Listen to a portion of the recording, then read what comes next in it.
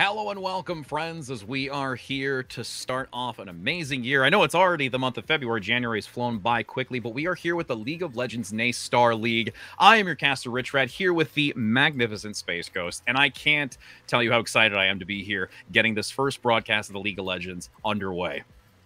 Yep, we have already actually they've already played some of these games, these teams, but these are the 1st mm-hmm. broadcasted games that we will be seeing. And we have four teams that have not had an L so far. So this is going to be very exciting to see uh, where the chips fall after this. Uh, and honestly, the last matches from the previous week, it was two O's in that sense. So not that extended three rounds. We do take a look at the roster here uh, and evaluate those individuals. And again, these players are really looking to demonstrate themselves on this broadcast and show what they have to do as, uh, you know, proving that their organization and their club is really worthwhile.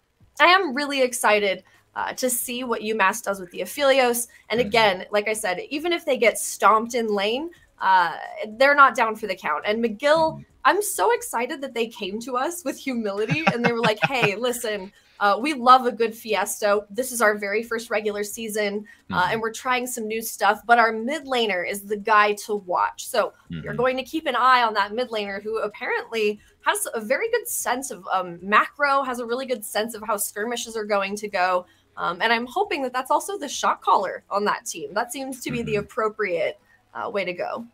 Yeah, what you have to have somebody like that when you do the divide and conquer, like the one and four. You're kind of looking to have somebody in that centralized location to say, okay, like if there is something that's going to go, you know, a little bit sideways or maybe not in the direction that hmm. you'd like, you've got somebody who can make a play like that. It's you yeah. know they, they commented saying that Monkey is really really focused, a trusted player when it comes to these decision making moments, especially in you know the heat of battle, and are really curious to keep an eye on that. Once we get towards that later phase of it, and we do start you know breaking away from that mid game into these team fights and what that's going to look like and how the potential divide is going to be for a split push um, and seeing if that four or you know one three one can really be as impactful as they would like it to be yeah, and you know what? We haven't spent a lot of time talking about McGill's uh, bot lane. Not down mm-hmm. for the mm-hmm. count. That Jinx uh, and that Nautilus into the Aphelios yeah. Lulu combo, it doesn't feel amazing for UMass with the Aphelios and Lulu. So I'm actually really excited to see what their reaction is. I think that McGill also has a lot of different potentials for carries, whereas on the side of UMass, looking like maybe the only real way to play through is going to be that Aphelios, and telegraphing that is very obvious to McGill. So maybe McGill actually does, even though they presented themselves as the underdog, maybe they actually have a pretty good draft here.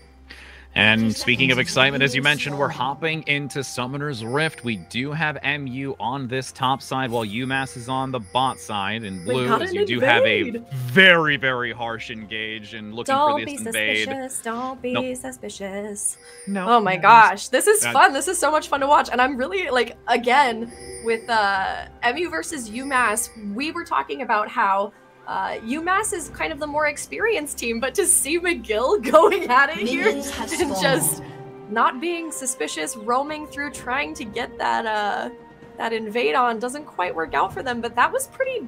To me, that that signals confidence. That was pretty bold of them uh, to do initially. So I like to see that. I mean, when you've got a, a, a CC combination like that, if you do find somebody, you are no longer for this world. At this point, I mean, it literally is.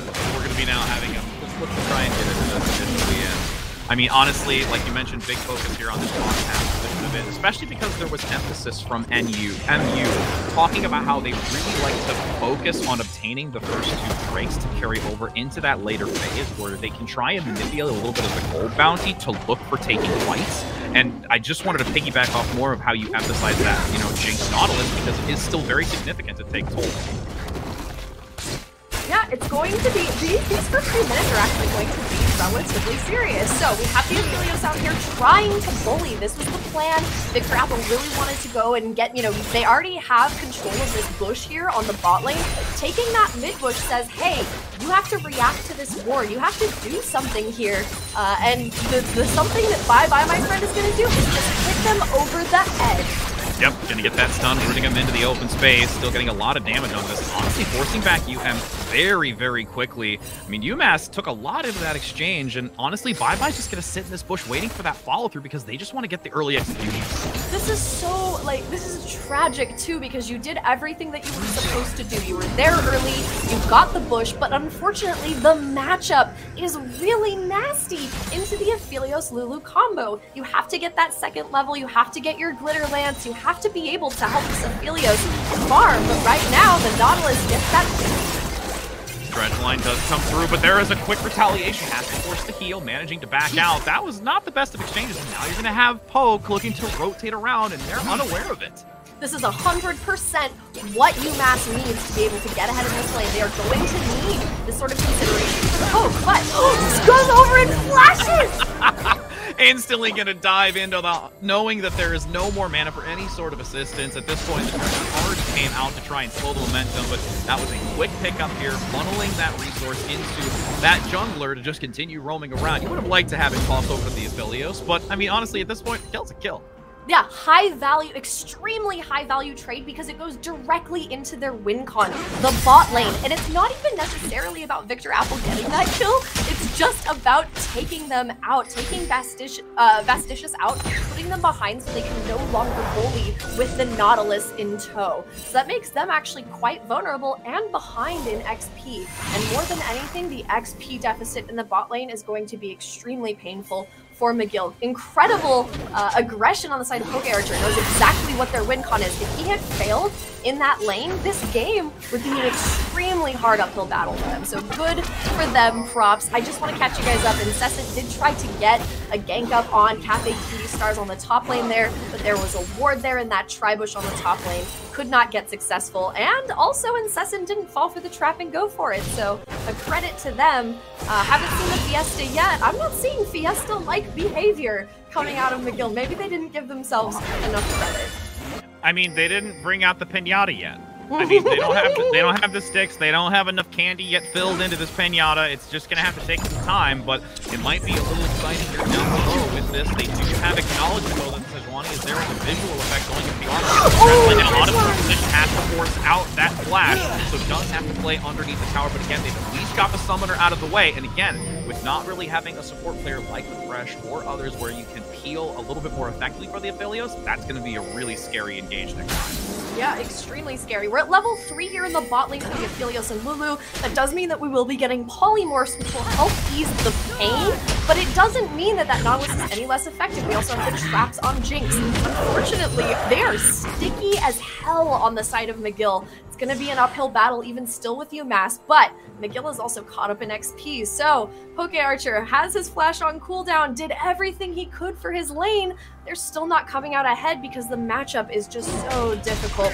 Now that we have Polymorph on the line, I'm expecting uh, this Aphelios to get a little more creative and a little more aggressive or we may actually see more topside play. They may actually want to move uh, to a different possible avenue here. There may be a dive coming up here on the top lane. We'll just have to see. Quite a few minutes still need to elapse before we're getting any dives, though. We're only level 5. I don't want to get too excited here. I know, right? We want to get excited because we just heard the word fiesta. I think you and I are just both spent on that for we want the blood to happen. Absolutely, blood and candy. Blood and yep. candy. That doesn't go together well, but okay.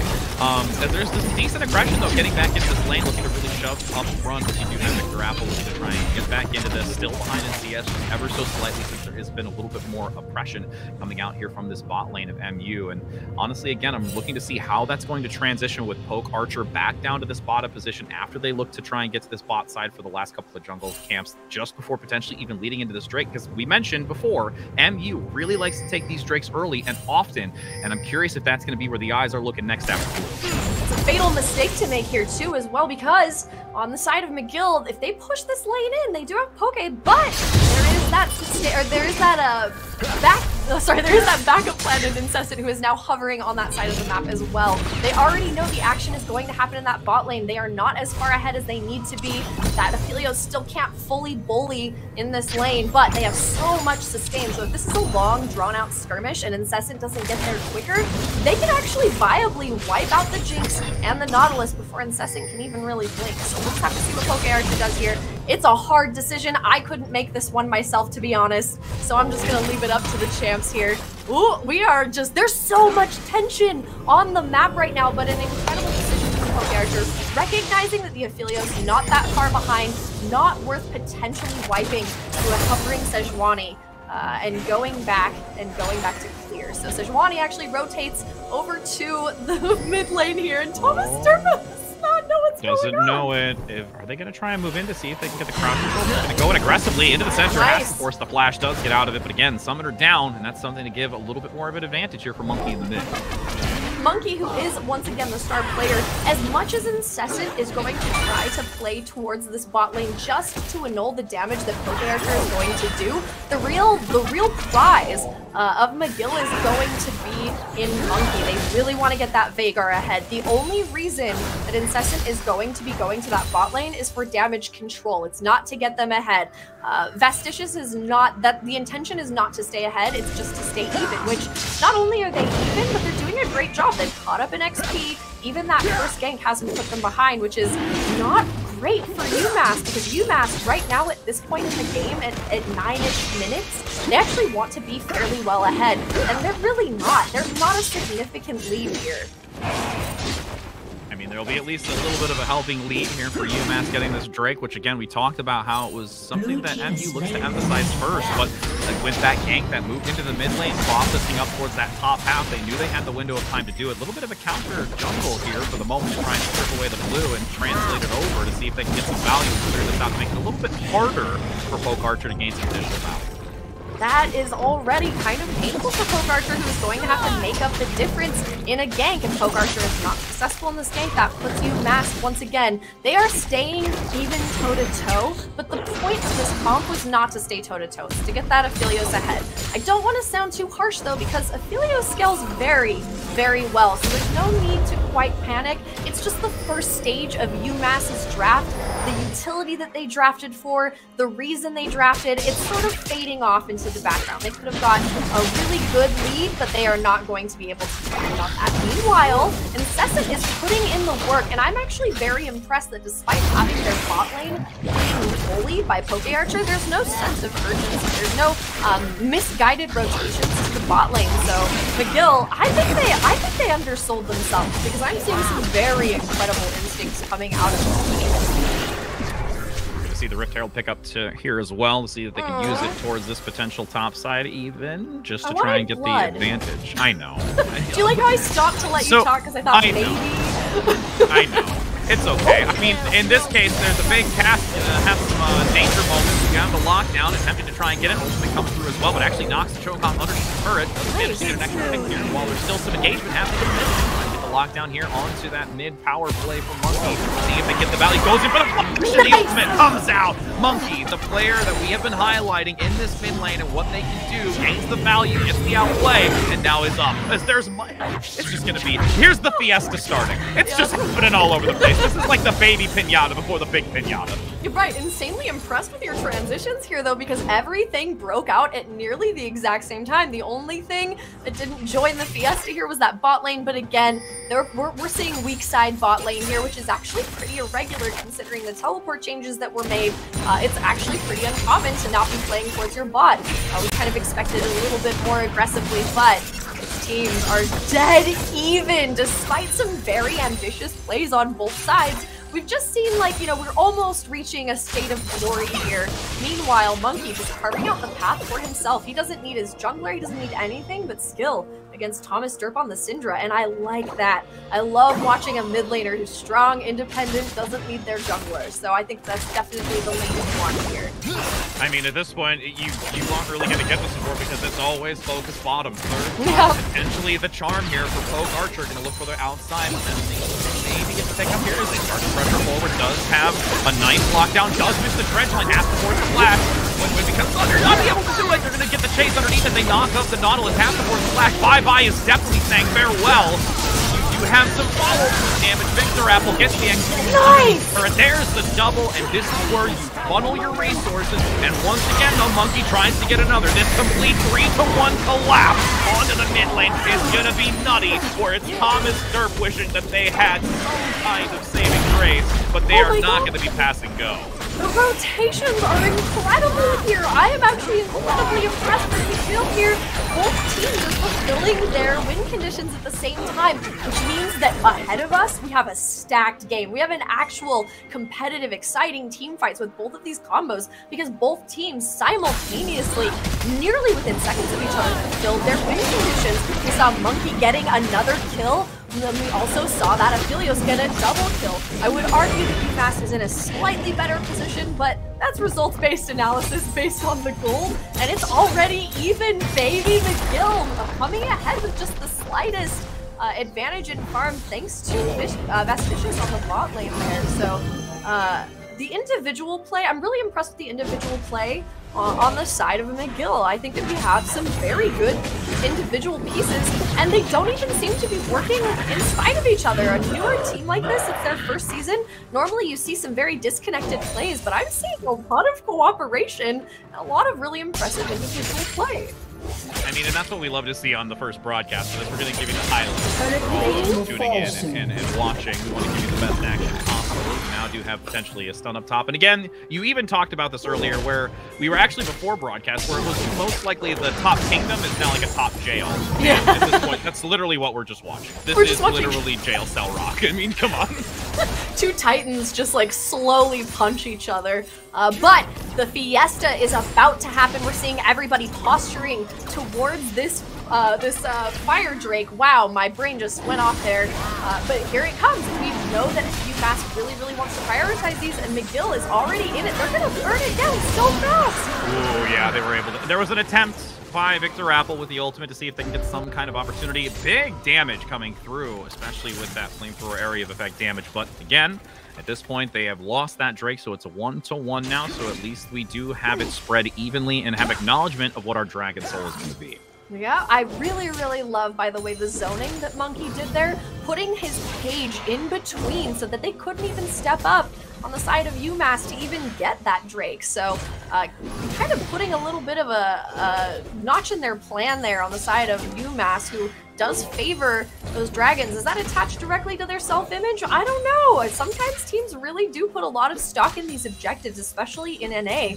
But I still think that UMass has something really good here. No need to panic. Great oh. scaling. But Monkey, oh yep. no. As the Predator coming in, the movement speed is high. Does get the pick up here swiftly and easily as they hyper-focus now onto the turret. Open that up to give some expansion as there's actually even some harassment here towards Blue. Managing to get the lockdown. Thomas Derp already having the disadvantage with a two-kill loss here earlier and manages to escape and forces out the flash. And this harass is going to continue on into the mid-game. It is looking really good for McGill. They have such a good handle on where they want to be and what they want to be doing at any given time. Whereas UMass, again, we talked about how this combo, more limit testing, wasn't successful in the early game. We saw them telegraph that they wanted to be aggressive, but bye-bye, my friend. And Vasticious have a really good handle and they knew that they had the matchup. They knew that they had won the draft in that regard. So not great, but again, these teams are going toe to toe. I think we're going to see some very, very good late game competitive team fights. They both have the tools to win. No, no team is out for the count. I just think MU has a better handle on their comp, and that's because they had picked to comfort, whereas UMass was picking something that they had professed themselves. This initial early aggressive lane, not normal for them. But the Aphelios still, despite this not being their main comfort, Victor Apple looks incredible on this Aphelios and is laying down some some some very concerning damage. If they can get a combo off, once they start team fighting, if you include the Syndra, if you include everybody, things are gonna get nasty. And hey, maybe I'll get my wish here in a minute.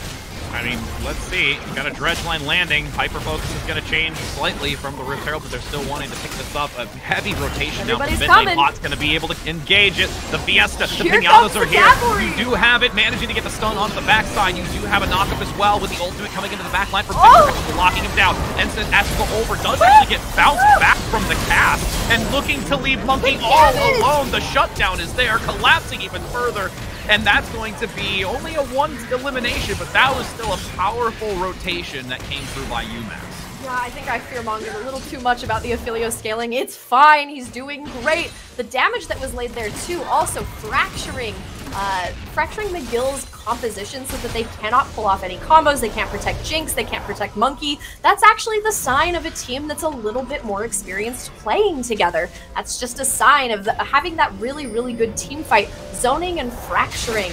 Uh, like I said, sign of a really good team that trusts each other and they kind of know how to execute those team fights, whereas McGill needs a little bit more practice on how to engage and how to protect their objectives. So this is kind of to be expected, but I still am getting really good vibes coming out of McGill, but UMass, that team fight really signals some dark things for McGill because the way that that team fight happened was that's how you want to see it. That's uh, uh, 100% what you want to see that emphasis on that top tower, managing to open it up gives a little bit more opportunity for taking away some presence from this top lane to potentially harass elsewhere, as we do have a little bit of a swap up. You know, the Aphelios kind of looking more for a roam here to see where they can get value. And again, for those with the chaos of the fight, it that Rift Herald did still go in favor of MU here, as they had gotten it earlier. So they have still a decent amount of time to opt into where they want to place this to try and get some advantage, since bot lane's pretty much almost taken, well, really both mid and bot lane outer towers are almost eliminated.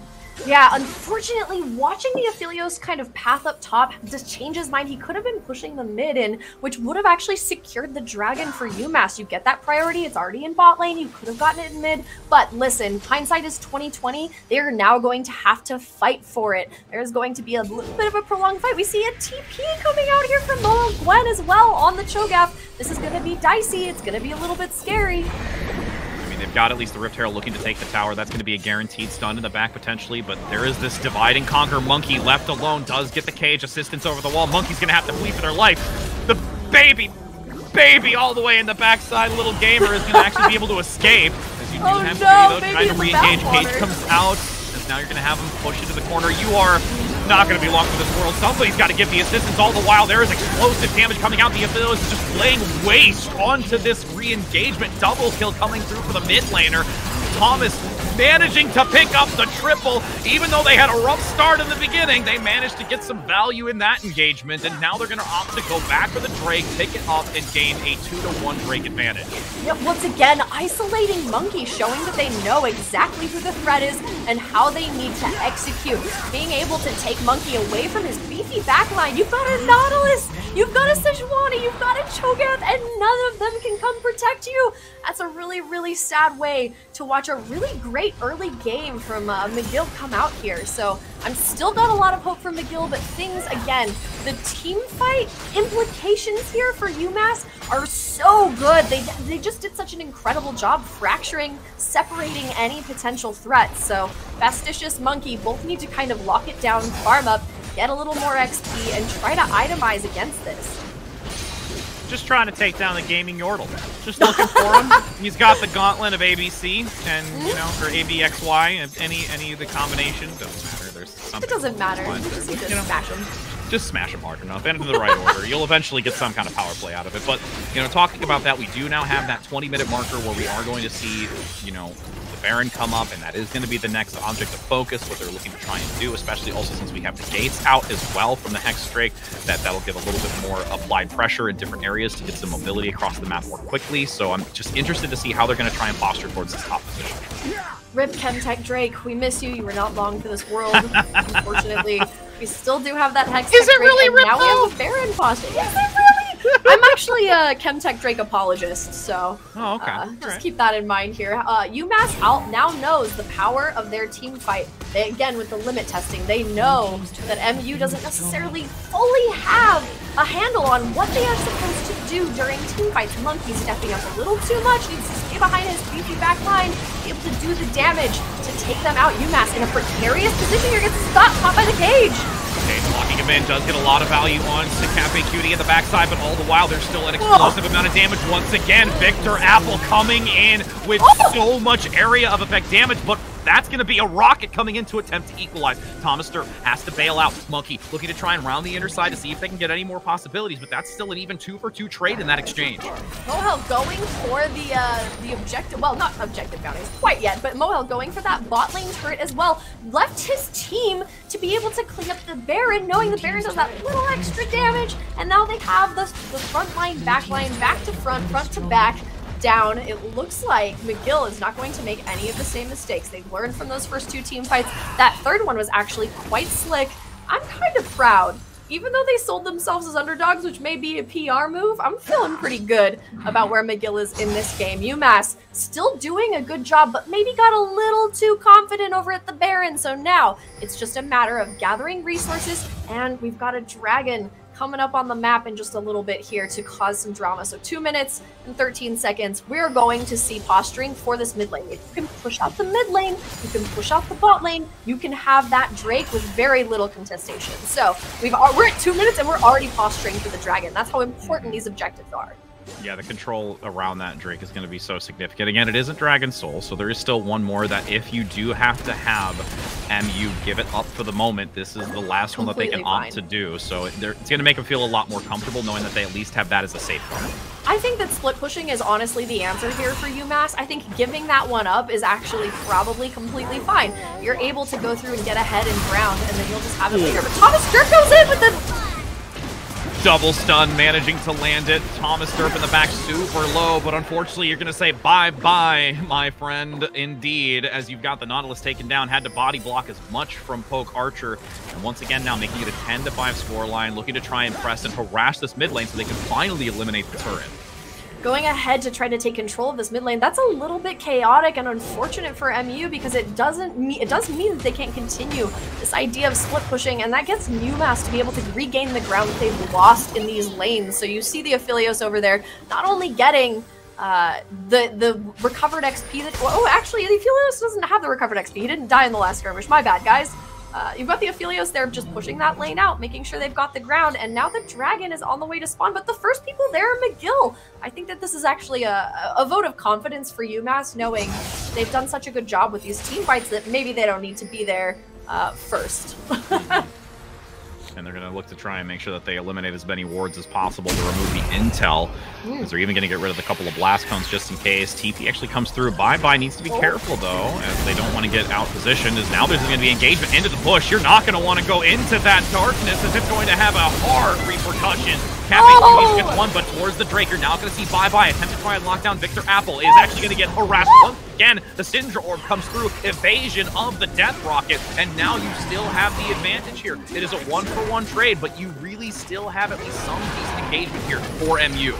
Yeah, MU still has uh, They have an option. McGill absolutely could go for it. UMass, oh, they are actually hovering. You've got the threat of the Syndra here on mm, Thomas. Oh, the oh! cage! What a triple lockdown, managing to completely shut them out. But again, Victor Apple being the MVP in the back, trying to stay away to give some kind of assistance to those up front that are locked down and now in the grave, gray screen. And it's only going to be that Sole Aphelios play back retreating and just wishing for their allies to come back online faster. Oh, no. It's time for some grievous wounds here on the side of UMass. They could not yes. fully get the damage out here. It's time for that build path to be able to take down this beefy front line. And Rich, you had highlighted this very early on. You were talking about how many options they have to play through Monkey. I almost feel like we downplayed it, but honestly, bye-bye, Incessant and Mohel, they know who their win con is. They know it's get down Mr. President for Monkey, and now they're going to have a little bit of extra oomph here if they can get this Baron down before Lulu gets over there. I think we're to be okay. Yeah, I'm pretty sure. And Incessant's yeah. just going to be able to rotate that aggro. Monkey's just here for moral support. Just here for moral support, friends. I just wanted to let you know that I'm here. I support you in this Baron pick. Absolutely. They have the power of friendship and anime on their side, on the side I mean, of McGill.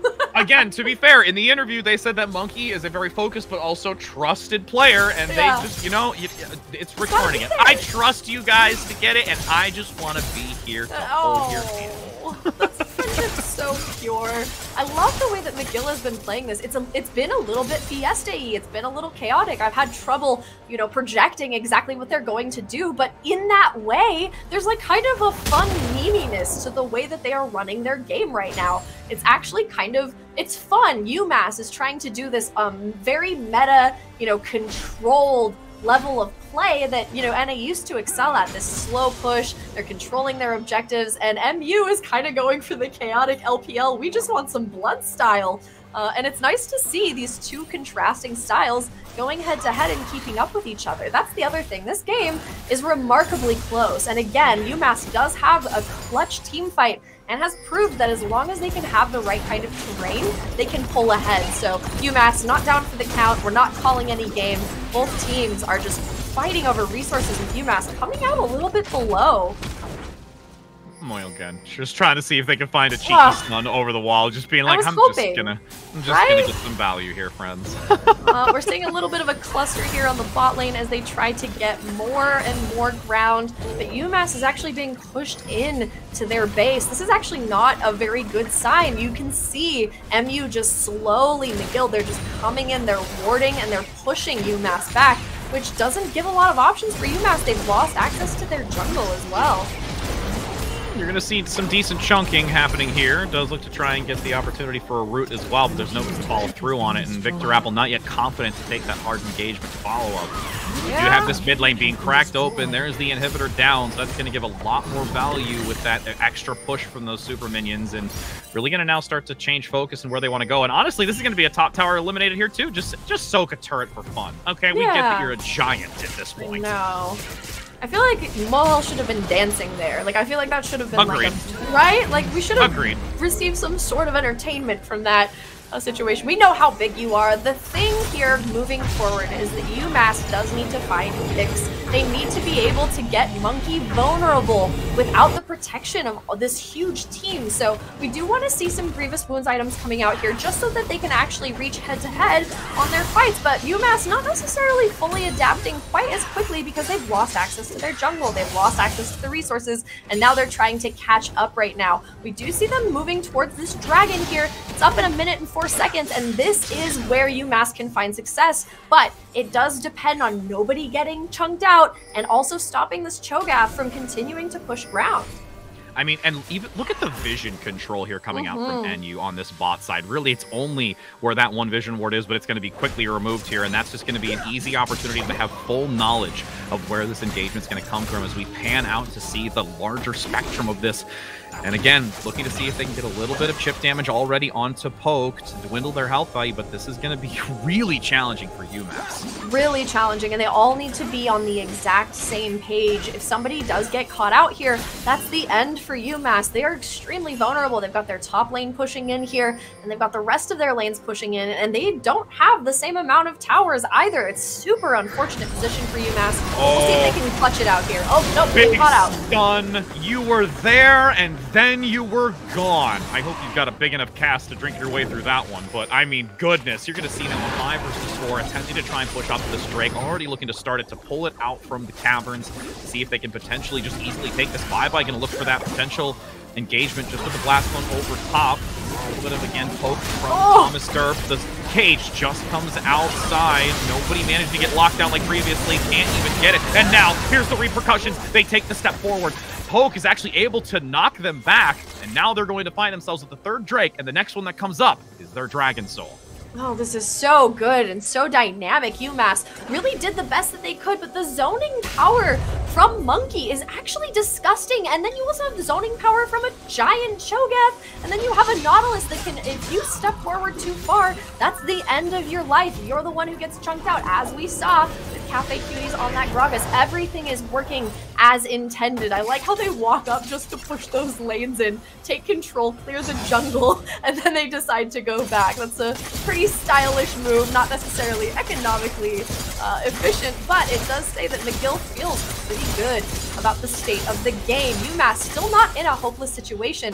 They have an incredible combo and an incredible team fight, but it's just a matter of getting on top of Monkey and getting on top of Vasticious. If you can kill both of those people, then you just have three tanks essentially sitting there. So we'll just have to see. Monkey is invariably the win condition on the side for McGill still, which is difficult. When you've got a single person as the win con, there is still that one weakness, but uh, not so weak when you're surrounded by three beefcakes here. So we've got some vision over on Baron. They're trying to get control of the top side of the map on the side of McGill, trying to just sort of once again lock them out of their jungle and slowly sap them of resources. They're just slowly denying them this blue buff, slowly denying them the ability Uh, and the only avenue for their jungler is to be in the mid lane here. You see Xin Zhao trying to clear up super minions just to get a little bit of XP, a little bit of gold, because has since been starved uh, by McGill, who's they're just out for revenge now. This it's kind of petty almost, you know? Yeah, it's like just they have like families. The Oh, they're actually going to dive in very aggressively. This could be extremely dangerous. Does have to pop the ultimate, diving into the back. A lot of damage up front, managing to dwindle the health values of the Sejuani, trying to force them back. Bye-bye has to fail. This exchange back and forth actually still leading in favor of MU. The triple kill comes out. The Jinx in the back line able to eliminate it. Does go down, but the damage has already been done. The root there after the dredge line to completely shut it down. And you've got a Lulu hoping that she's got some tea waiting at home back at that spawn. I know, just with a sliver of health there, she escapes. Izoria, this is the player uh, oh no, no, no, Victor Apple, Apple is the player who actually plays with a trackpad, which by the way, look yeah. at them, 3, 1, and 6. This is the person who's doing their best to throw their teammates on their back and carry them through. Honestly, UMass, even though this game, it, it's starting to look like a foregone conclusion, uh, UMass still, like, these are not stats to be ashamed of. This loss was very much, uh, was very much something to be proud of. And again, we had mentioned that UMass not quite comfortable with this style of play. This was experimental to see what McGill knows about the game and how they play it. So UMass, even if they do lose this one, uh, they're still pretty, they're still looking pretty according to them. So we'll just have to see how that goes. Uh, one good team fight on the side of UMass actually could put them back in the game. It's just a matter of pulling off those combos. We saw Lulu didn't get any of those knockups up. Uh, we saw that the uh, Xin Zhao was made to like make help them escape. I mean, honestly, they weren't even be able to get Victor Apple in there to lay down any damage. So it's just a matter of either catching somebody out on the side of McGill uh, or going for this Baron here. So we'll have to see. Yeah, I, I really like to see. Out. I'd really like to see the Crescent Guard get a little bit more value. I feel like it's been a little lackluster the last yeah. couple of attempts here. Ooh, they're actually going to go in for this Death Charge comes through, managing to get the stun onto the back, but evaded. Rocket comes in as well. There's a nice... Duty's coming in from yeah. behind. Might get caught out once again. The team has started to back off. That is unfortunate. The Xin Zhao. Ugh. Not great now communication. Nope, and you're going to now see Poke look to try and just escape. And again, this is really just going to be a free Baron. They can't really go back into this confidently, and you've lost such a significant player in this, and now attempting to try and get back into it forward. My, my friend does get, again, that hook onto the front position, managing oh. to lock them down very low. There is the cage again to give some oh. distance, but there is a scatter of the week that gets a nice stun and an elimination as well to make it a four versus four recovering that health there, and it may not be viable, but these teams, they may not be able to get the Baron, but they sure can slap fight their oh! supremacy. Thomas Derp! Scatter of the Week comes in to get a beautiful follow-up onto the back line. Now they're just having to bail. You have that long-range poke as well coming out by Victor Apple, and they can potentially look to clean this up, try and see if they can get the re-engage. That's a big health value gain, though, with the Sejuani recontesting back into this. Neither team can really go for it. My admiration for UMass sticking oh, in this, getting those picks, circling like sharks around McGill for any weakness that they can actually get there. Their team fight is impeccable. It's just the setup that is really lacking for UMass, which again, they warned us, not comfortable with this. With the Hextech right here now, has to re-engage and needs some assistance. The backline finally gets their Victor Apple pummeling on this oh. line, attempting to dwindle the health low enough that they can get the execution. You do have that return though. The Jinx play in the back being harassed. The Syndra gets the elimination, and now the front line is dwindling. The health is exchanging one after another, but this is a beefy Cho'Gath looking to continue consuming their enemies and just completely eliminating all that remain. You do have Cafe Cutie leaving. There is no way that you're going to be able to re-engage. Just trying to just get a slow to get some distance. All the while, the mid lane is still pushing with oh Monkey not even needing to be there doesn't even care. Monkey immediately goes for the the winning play here. Wants to get one of these in. Oh, wants to get the last turret here for the Nexus. And Cafe Cutie's trying to do everything he can to stop this. But Monkey's instincts. This is what we were told. A trusted player with some very stylish ideas and a great idea of macro. If I had to say anything, Rich, it is that Monkey won this game for McGill. Yes, the pieces were there, but it is the macro the sense of the way that the game works and the ebb and flow that really actually did it for me here. Monkey, that's a player that you can trust follow you into hell honestly the question is which gate that is more of the question That which is true one? as no but honestly and again towards the end of it that long extended fight where it was back and forth between a that was also just really brilliantly done by MU. And because they were able to allow those super minions in the mid lane to continue harassing, getting the initial tower, dwindling the health value of the second. So once they took that fight, again, it was still in favor of McGill, regardless, over by Drake. But whether that fight did go in their favor or not, I could still honestly see the pressure that was coming through by Monkey could just allow it to get the second turret and still snowball into a more favorable future. So it was really only a matter of time. It was just the Python continuing to just become tighter and tighter around their prey and to the point of where at this point there was nowhere to go. Yeah, I almost feel like I got faked out uh, from an analysis perspective. Of course, it's on the fly, so it's impossible to tell. But honestly, McGill was so subtle in the early game. They really were just really controlled, very patient, waiting for that later game. And then they just trapped UMass. Like you said, that Python there just started to slowly wrap around UMass, even though UMass had some very, very admirable team fights. Mm-hmm. Uh, unfortunately, even though I think we only saw a fraction of McGill's power, we know that we've only seen a fraction of UMass's power. So the next game, I expect it to be even closer unless mm-hmm. UMass is hiding something very serious under their uh, collegiate team here.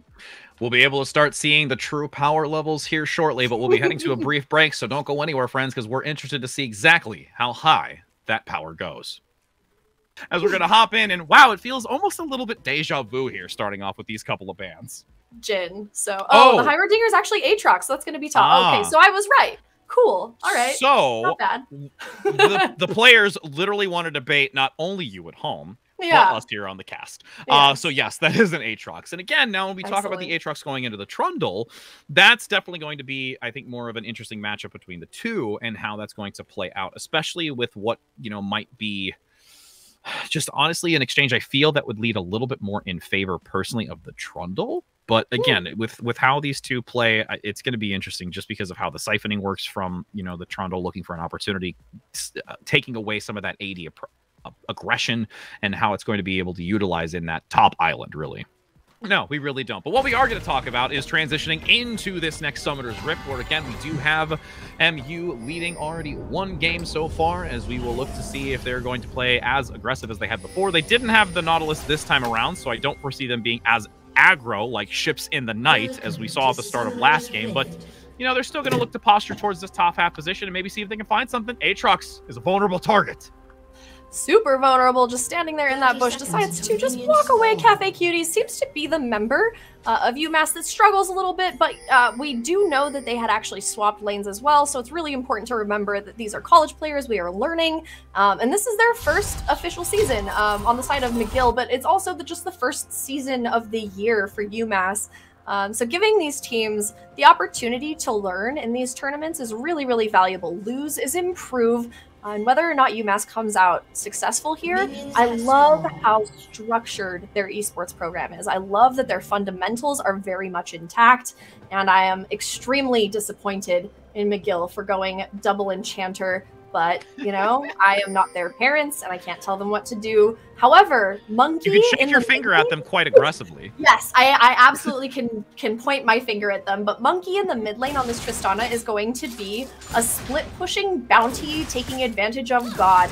Uh, and unless UMass can do something about that, the the pace and the flow of this map will be dictated by MU, which is uh, an ongoing problem for UMass. They have got run around the map towards the end there. They held on very well, but then they started to let MU dictate where they would be, where they would be, and what they would do.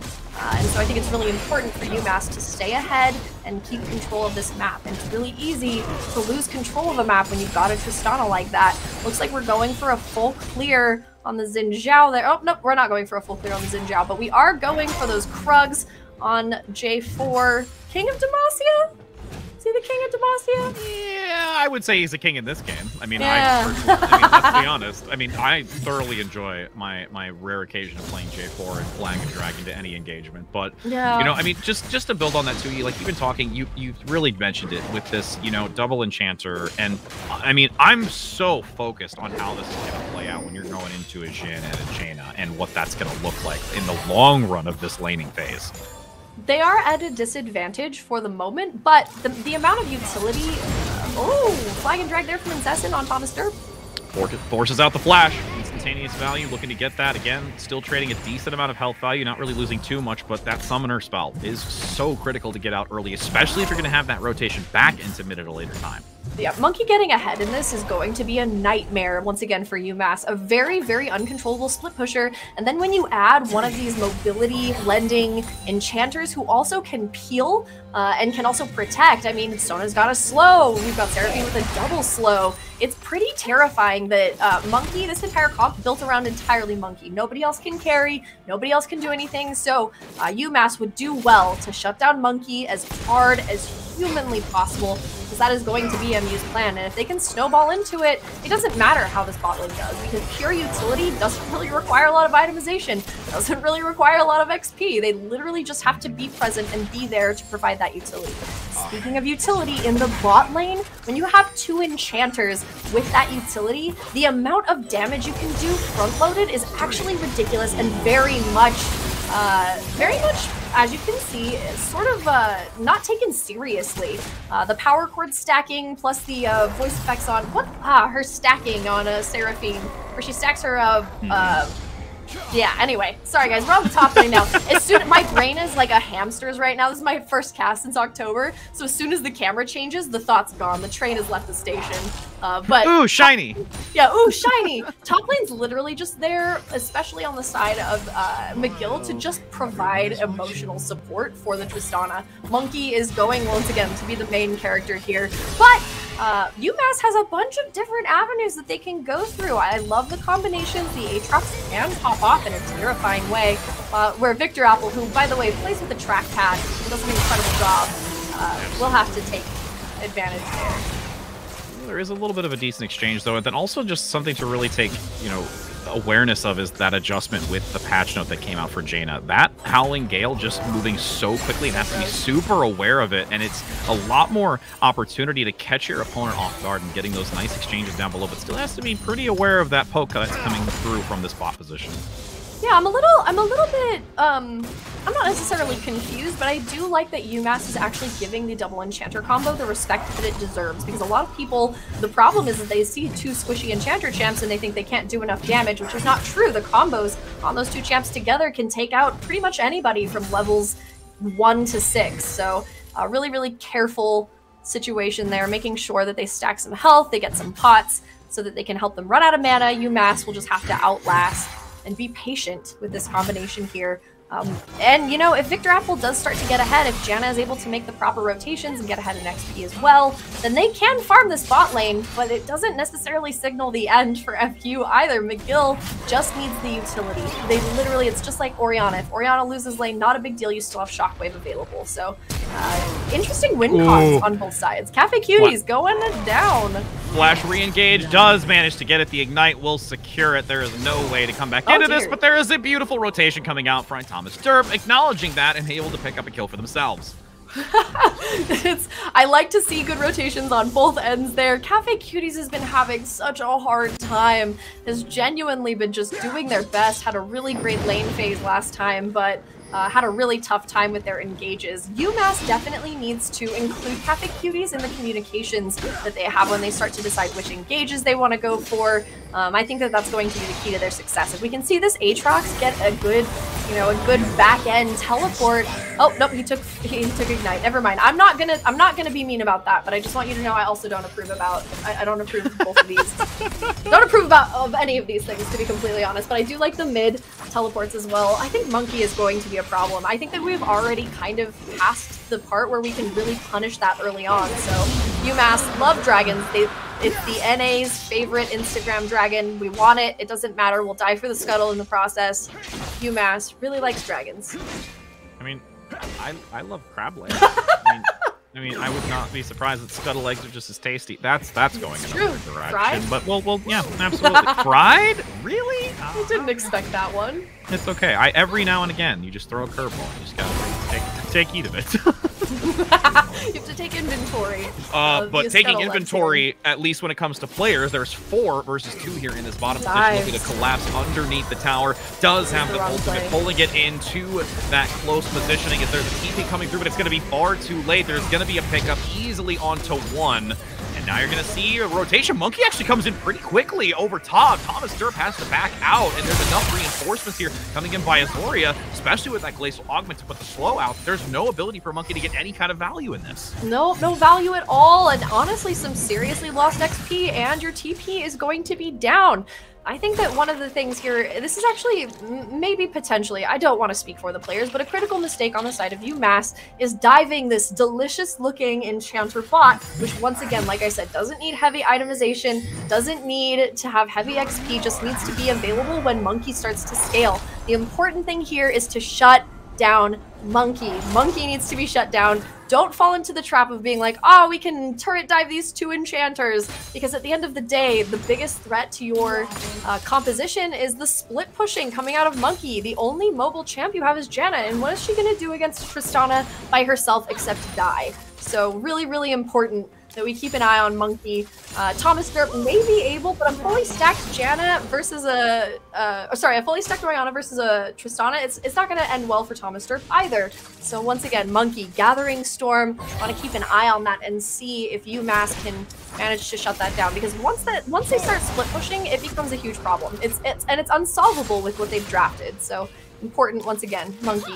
Really cool player, by the way. Really interested to see if this is the person on their comms who makes all of the calls because it seems like they have a very unified communication style, whereas UMass might be struggling a little bit.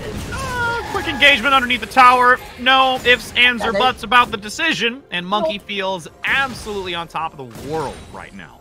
Yeah, and, and, a, and a, an egregious error uh, on the side of UMass if they don't shut down Monkey once again uh, can just farm that Orianna, and Orianna won't be able to stop later in game when they're split pushing either. So uh, poor Cafe Cuties, man. I just want to get some like Cafe Cuties stickers to like help him, you know, feel a little bit better about the games because playing this weak side, it's pretty rough uh, on the Aatrox into the uh, Trundle, but it is a, matchup of skill too, and we have seen uh, that Cafe Cuties does seem to be the uh, like the more green member of this team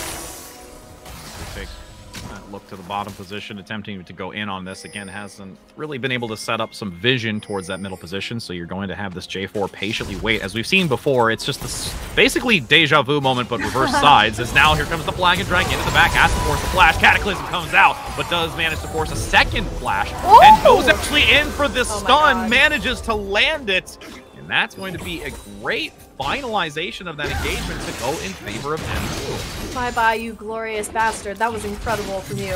Uh, meanwhile, we have, uh, for every action, there is a reaction, and we have the reaction getting the Rift Herald from Poke Archer, uh, who does such a great job. By the way, Poke Archer, their ability to not uh, make choices in the heat of uh, indecision or feeling pressured to go somewhere and do something that's not necessarily efficient uh, is really impressive. Poke Archer's instincts here are really, really impressive.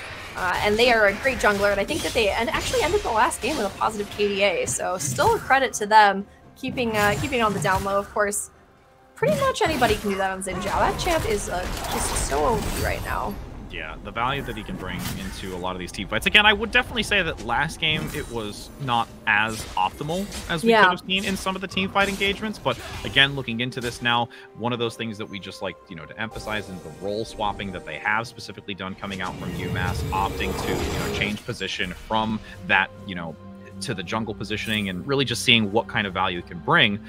As we do take a look at towards that bottom position, you're going to have also that Drake coming up in just a few seconds. So there's going to be a lot of emphasis there to see if they can get the second one for UMass. Yep, we're rotating mid. Mid is the key to locking down those dragons. So it looked like we had a little bit of a walkover. We're putting some vision out as well, hoping to get set up for it and push out mid a little bit with Janna actually rotating down to match Jarvan and provide some support here. It doesn't look like they are keeping up the tempo, though. Uh, McGill going ahead and taking UMass's Precious Dragon. I don't think that they expected to go this fast, that they would actually go around all of this vision. Oh man, that is a tragedy. Unfortunately for UMass, who just the best laid plans, even with this Herald in the mid, they weren't able to lock down the dragon. That means that your Herald, all you accomplish there is not putting pressure for the dragon, you just get the turret, which is fine, but the plan, as you can see, is to actually go for the Drake as well. Very, very sad to watch that slip out from under your fingers.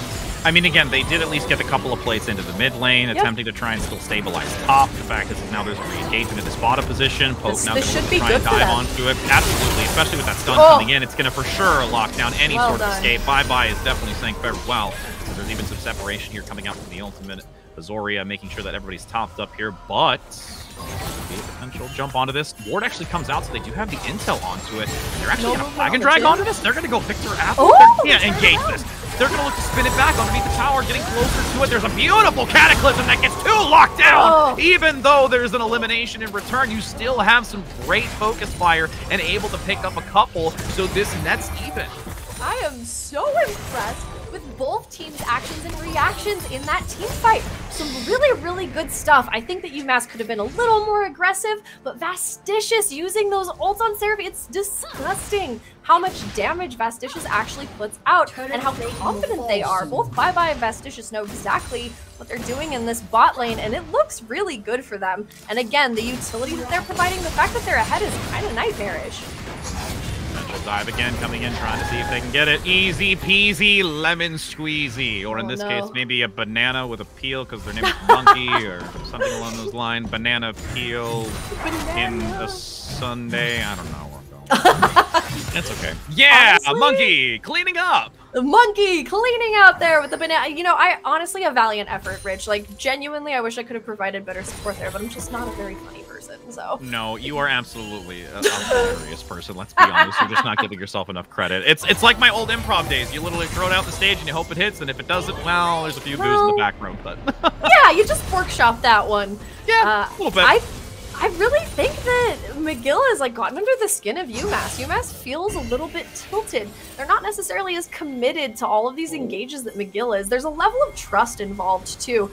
Uh, you know, it sounds like when Monkey says jump, everybody jumps. Whereas in UMass, there might be some different different opposing sentiments uh, coming out from how they want to play this game because it looks like right now we have two different things happening. We can have this Janna up and about in the top lane potentially, um, but she's going for that mid lane there, providing some vision, and it's not a full confident rotation from the Janna, who is is literally just matching step for step by by my friend when they could have just stayed in lane. So uh, difficult on all sides here, but UMass seems to be having a little bit of a challenge um, with their fundamentals see now. Still good looking.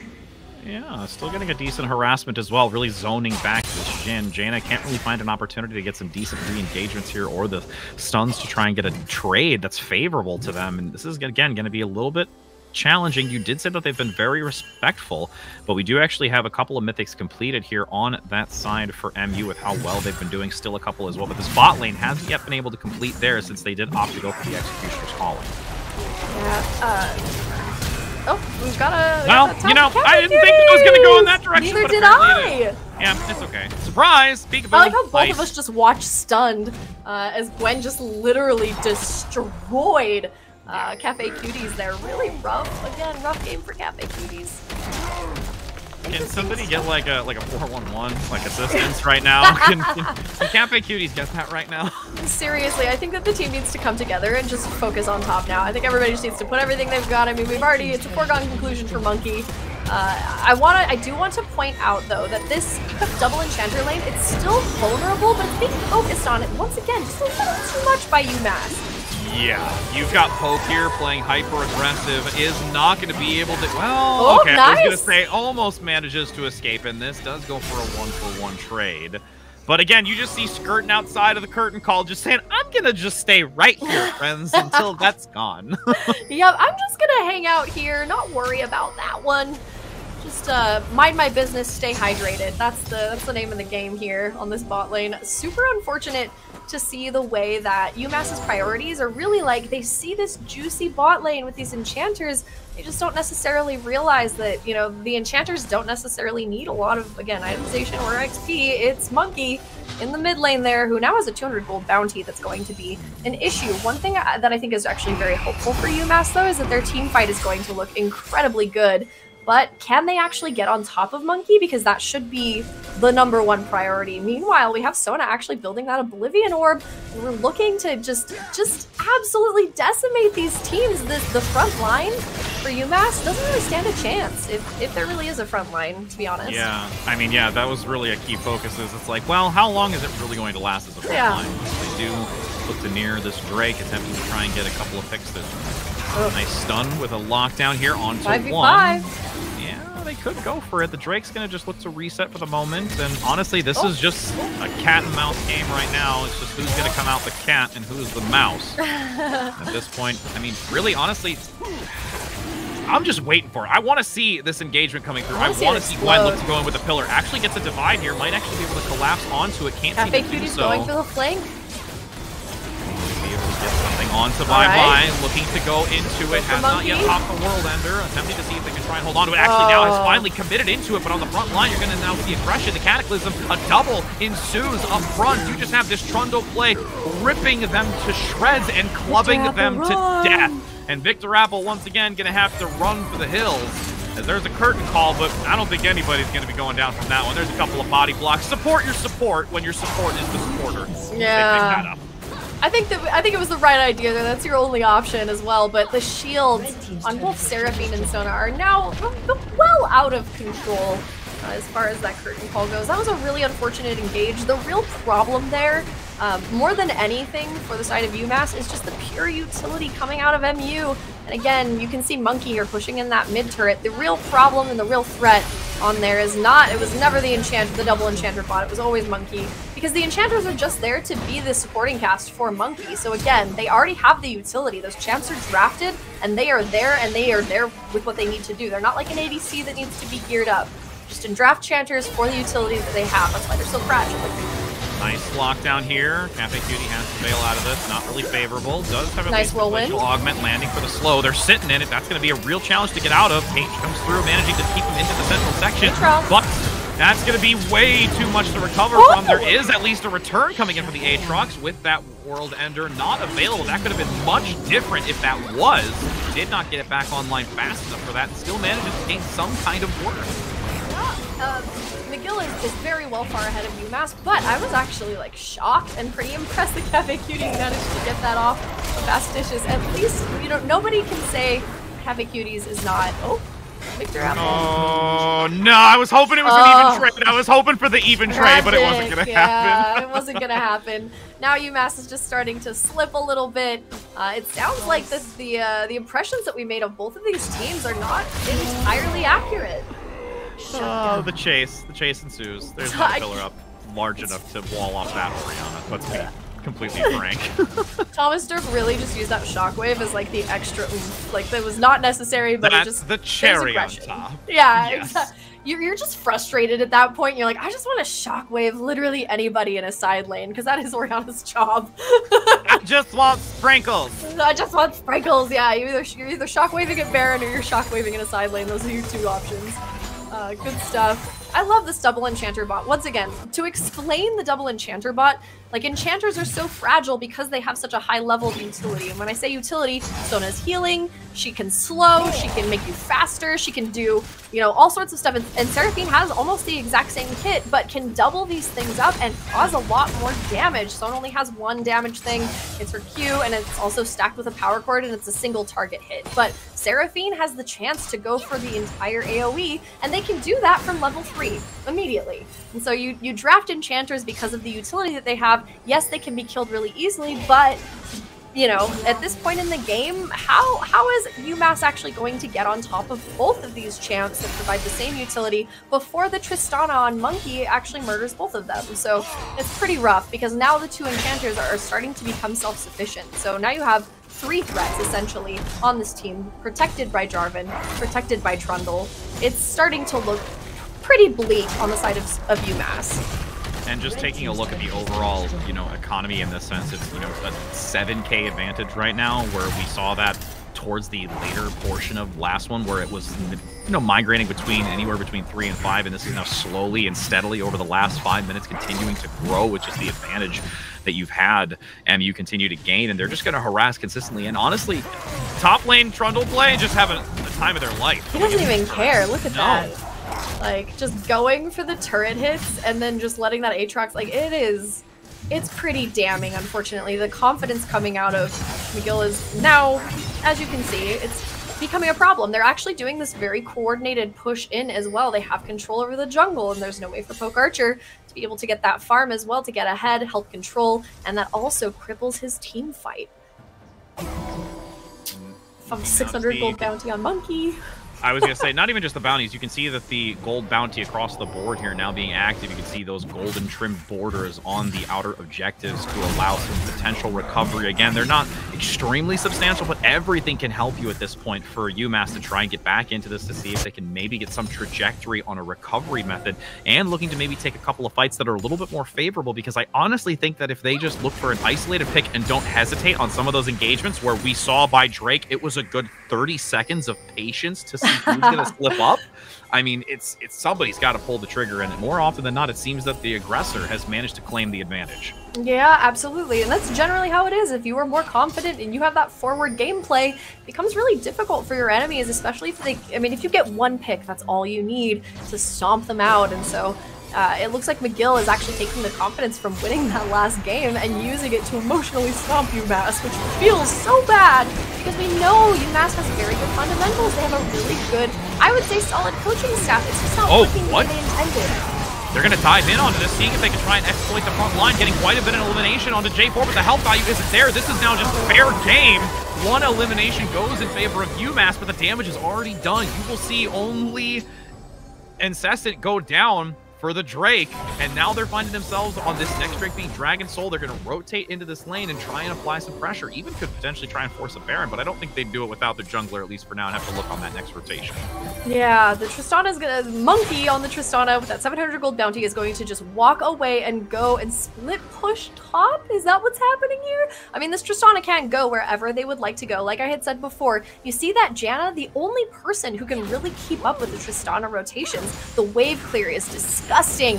Um, and their ability to put bombs on top of their turrets and just go for it. It's pretty, the explosive charge is pretty disgusting when you're taking turrets as well. And the only two champs who can get there quickly enough to stop her from doing that have no way to kill her. So, um, oh again, no.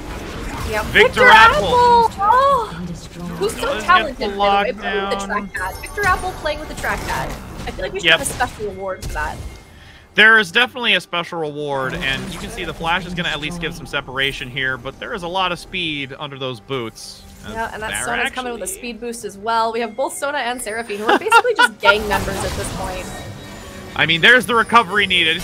Guys, somebody help me, please. Just yeah. Victor begging for assistance. That was so funny. Literally, just like trying to bail out uh, Private Ryan there. They were just like, please, God, let me out. Yeah. Um, and meanwhile, Monkey, like I had said before, um, becomes the real threat here. Uh, can literally just win the game by themselves as long as they are rotating properly. Um, and there's really nothing else that they need to do. Monkey just needs to continue to sit back, have some patience, discipline, good vision, and take take uh, advantage. Oh no, the oh, jump no. missed! Oh, but please still has the. Enchanters! Yep, they still have a flash. There is some assistance. Now the curtain call comes in from downtown into the cataclysm. Body blocking quite a bit, but those shots aren't going to be able to eliminate the health value fast enough. It's blunt force trauma here on the front side, transitioning over. You've just got this complete and utter dominance in this top position. Another pickup as well, chunking a vast majority of that health value on Azoria and just constantly getting more value into this. That is a 8-0 2 with a full bounty here on Monkey, just looking for more. Oh gosh, you can't, you can hardly even hide behind your turrets against Tristana, who's fully fed, and doesn't even matter, is split pushing while their team goes ahead and takes that Baron. That is the Baron from McGillis, the, uh, the, the supposed underdogs. Now I'm starting to doubt myself here. in Our, uh, estimation of what we were told. But listen, they can't give away their uh, can't give away their strats to us. However, McGillis definitely playing um, that that quick, dirty, fun, swashbuckling game here. They're not picking into the meta. They're just having a good time. They have this really interesting strategy where they build around Monkey. Uh, and they create sort of like a distraction on the bot lane. It's just too much. When you see two enchanters in a bot lane, you just can't stop yourself from trying to constantly dive them. So uh, I think that they knew that. I think McGillis knew that uh, UMass would not be able to resist the call of these sirens. And now, accumulatively, a 10k plus advantage we're talking. for yeah. MU right now. It has been ballooning at this point. We saw it from 5 to 7, now to 10. The objectives heavily in their favor. They are looking to be on Dragon Soul. Top lane aggression. Pillar comes out. Cutie, I hope that you have some sweet, sweet return in some kind of engagement. Does pop, pop the World Ender to escape at this point. But again, you're now on Dragon Soul, and you're going to have to see UMass look into this fight and find some kind of value. Oh! Monkey actually takes down the bot lane positioning from Poke, and this is just spelling even more disaster, especially since it's just 60 seconds until this Drake is up. Yeah, there's there's pretty much no way UMass can see this Drake unless they get some very choice picks, but then you have Monkey on the bot lane already pushing out, and they can't even walk up. If anybody walks up to that turret, they are going to get dove. Cafe Cuties, listen, I got a, a huge Grubhub gift card for some LCS stuff. If you want dinner tonight, message me on Discord. I'm uh, so sorry. It's not going to be a dinner. It's probably going to be a full-service buffet for this team right Honestly. now. Unfortunately, they are just getting overwhelmed, and it's... Oh, you're going to do that with dance, aren't you, there? That's okay. Yeah. That's fine. A little bit of fun play. Bot lane being pressed in. You got double turrets now. Even the sad B, sad B, cry B. Sad B. Oh, and now as the inhibitor are gone, the towers deleted so shall be the Nexus Crystal crumbles. That's actually going to be MU able to take this back-to-back -back games, claiming the W, and for once, for our first broadcast, we see an L being dished out here to UMass. UMass honestly came in very confident. I really admire the attempt to download data in the first game, but we just did not, we ourselves did not realize how strong McGill University was took a look at their OPGG. I did all the research. It just didn't look like a team that would come together, but you just underestimate um, not only Monkey, but I think Monkey is the uniting force on this team with McGill. They have one source of truth, one source of information, and that all seems to come from Monkey. Uh, for UMass, listen, I'm just a commentator. Uh, entertainment is generally my thing. But as far as analysis goes, one shot caller that the whole team trusts will give you an incredible game. It will elevate it to a level you can be proud of. I still think you should be proud of these games. UMass did such a good job executing fundamentals yeah. and meta picks, which I think makes UMass pretty competitive. Maybe consider once you get down your shot calling entering proving grounds the style that they're playing is great for semi-pro mm-hmm. League of Legends. So UMass has a great foundation, but McGill's chaotic, fun style of play has won over. In the match player, uh, whether you know whether it was a clutch play or sacrifice of proving strong leadership when it mattered most, uh, today's hero of the game. I mean, I don't think it's really much of a question. no, I think that we all know the name that has been on everybody's lips, or at least ours.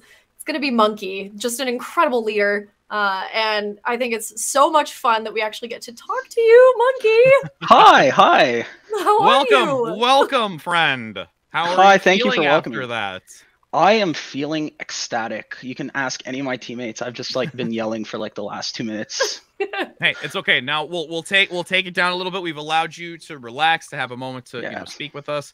Uh, I know earlier I was able to you know interview Moyle Glenn, uh, able to get some insight on you know all of you as a team and what you've really been doing and looking forward to be doing. And they really really highlighted you by saying that you've been such a focused player and someone that they've really grown to trust in the roster and and what you've done. And, and you had a magnificent display today of what you bring to the table. You know how is it that that you know communication goes with you? Are you kind of like the shot caller like the lead communicator? Do you kind of like have your team just constantly rotate specifically around you or is it more so like a communal agreement that we just want to work around monkey?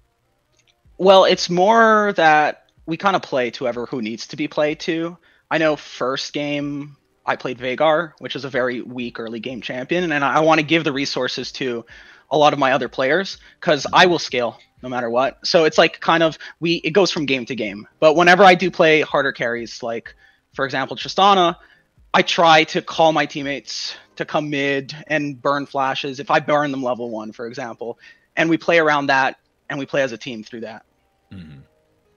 I really like that answer too. It seems like you guys have a very good like friendship rapport. Is that kind of the dynamic between all of you? It seems like you really enjoy playing together. Yeah, I've we've met each other this semester. Actually, we're all oh. starting fresh, and uh, all I can say is positive. We we have fun. We play random flex games. We do ARAMs together. It's just like we try to have a blast, and we kind of show that through our gameplay. It, it was very, very obvious. I just want you to know, like, power of friendship in anime definitely coming through there. Um, and your program is actually, it's not a program, it's a club. It's run by the students. Is that correct? Yes, that's correct. Okay.